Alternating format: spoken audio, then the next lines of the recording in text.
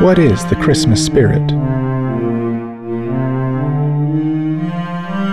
It's generosity, the desire to give more than is expected. It can be found in the hustle and bustle.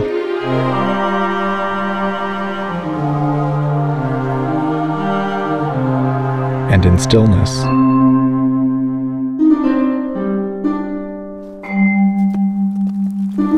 It's a delight in beauty, an attention to detail.